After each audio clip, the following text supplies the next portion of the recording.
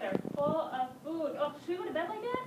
Yeah. Yes, we want to go to, bed like that. So, what should we use? Floss. Yes. Do we hold floss too? Do we hold floss like this? No. We hold the floss on one on either side. And if it's too long, you guys know the roller up trick, right? Yeah. You can roll it up so it's just the right size. Okay. So, when people come and see me, a lot of times they say they brush, but they just go down, up, down, up, down, up. Should we try that? See if that works. Yeah. Down, up, down, up, down, up. Okay, off to bed. No. No, that didn't work very well, did it?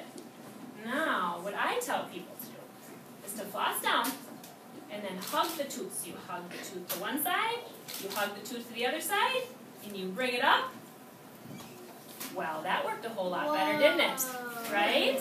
Did you did you guys see that? I do that All one. right, spaghetti and meatballs are out of there. Can we get the? I kept on falling. Oh, it keeps falling. Thanks. Okay, so now let's get the tacos out of there. You hold it this way. So we floss down, we floss one side, the other side. Oh, come the tacos. Whoa. See that? Now, what about the cashew chicken? I don't know. We'll floss down, we'll floss one side, the other side, and up. Oh, now can we go to bed? Yeah. Hug your floss on each side.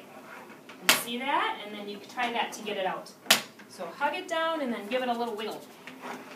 So you hug the tooth down. Did it work better to hug it down and give it a wiggle? Yeah. I